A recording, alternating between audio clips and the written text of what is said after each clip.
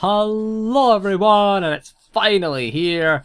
Knights of the Fallen Empire is launched, well, launched into early access today, and I'm already level 65.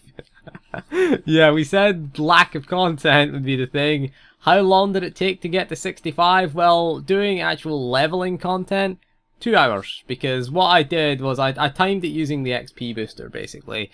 Your major XP booster lasts what three hours and my stim uh, lasts uh, the mastery stim lasts what eight hours the purple mastery stim. So what I did was just as soon as I started chapter one popped the XP boost popped the stim. Okay the XP boost was still going it had an hour left and the stim had what uh six hours left by the time I popped that. So two hours for and that's not skipping cutscenes to get from 60 to 65. That was just doing the uh, the story quest, just doing the chapters. I think I got to chapter chapter seven was where I got up to chapter 7 of 9 of course we're getting right now. Uh, chapter 7 at chapter 8 just now. Now the footage you are looking at is level synced footage. Now I haven't included spoilers in this video but we do have level synced footage. We're soloing a couple of heroic 2s and those those of us who had those people who had fears about level sync would cut off portions of the game or make the game too hard for certain sections, it's face roll easy. Let's be honest with you. I'm using HK55 here as a healer, which I think is unnecessary here because my health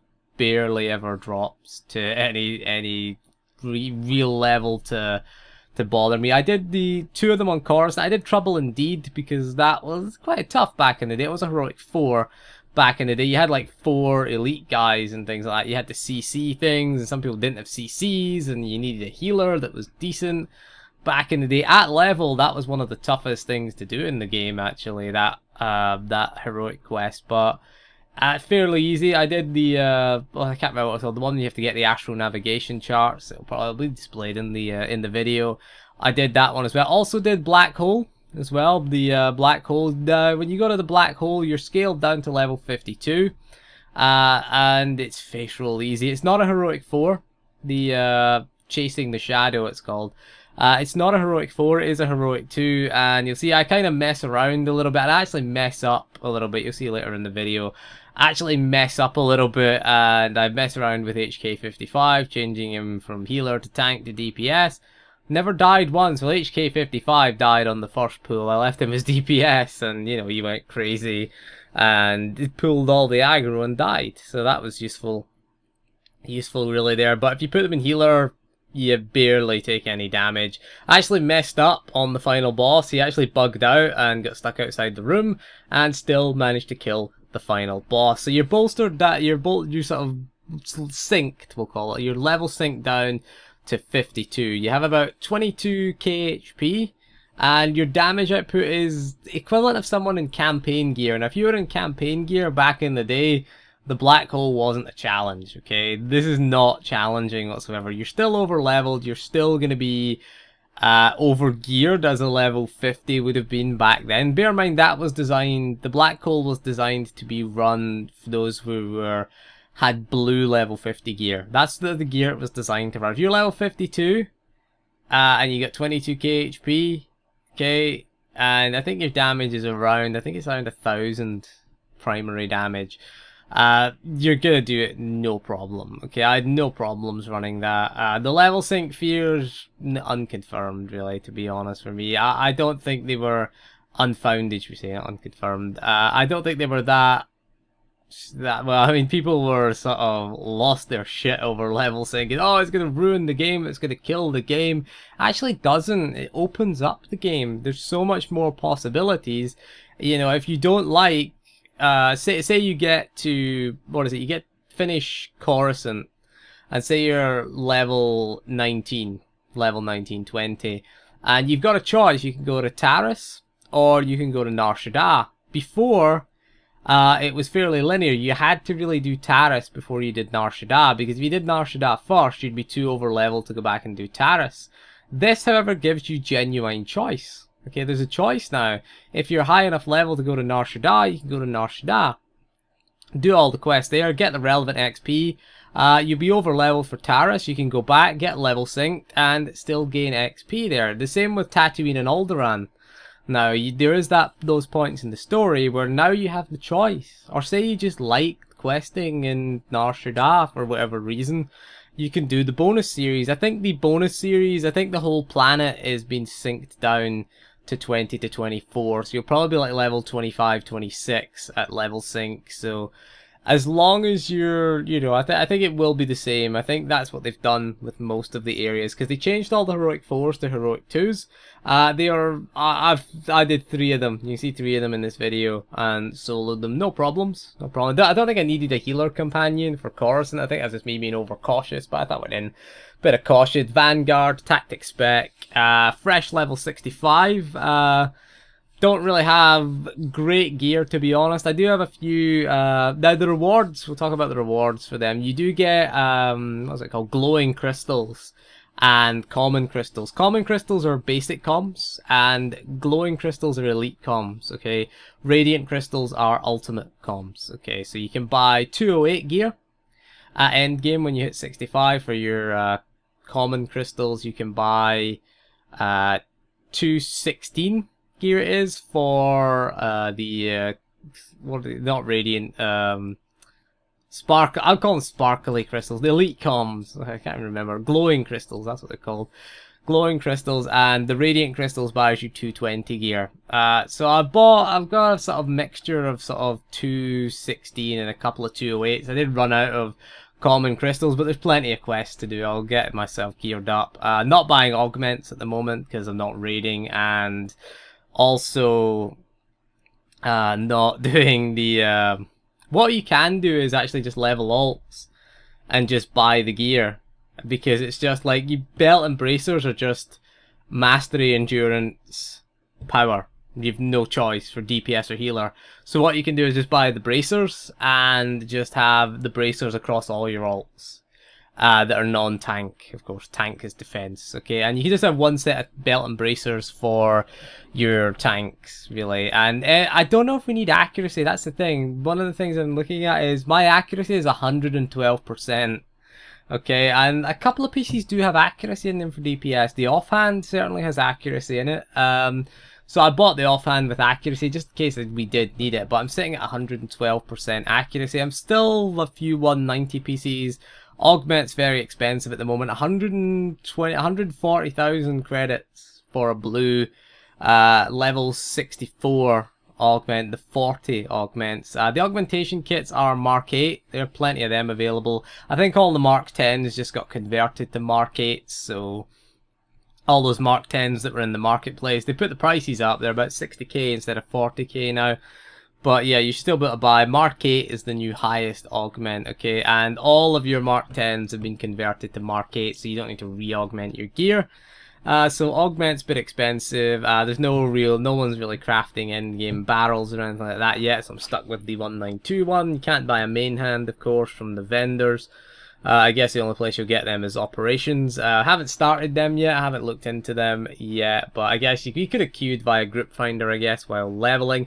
Might have a go at that. Might have a go, actually. Might have a go at some of the hard mode flashpoints. I need to get my tank gear sorted. So what I'm going to do is start leveling alts. Is what I'm going to start doing. Is start, as soon as we can, use your alts commendations because doing away with all the stats is actually not a bad thing. And bear in mind, if you're struggling for gearing, you can get use devoted allies gear on yourself now in 4.0. So gearing is not a huge issue anymore because we can just use any any alt any alt that we want and use them to gear because mastery is your main stat now for every single class. Uh, what I what I've done is I put my I put my commando gear on my sage for a laugh and went about with that on. And as long as the armor's adaptive and legacy bound, you can do that fairly easily. Obviously, weapons and offhands, you're to have to buy each individual.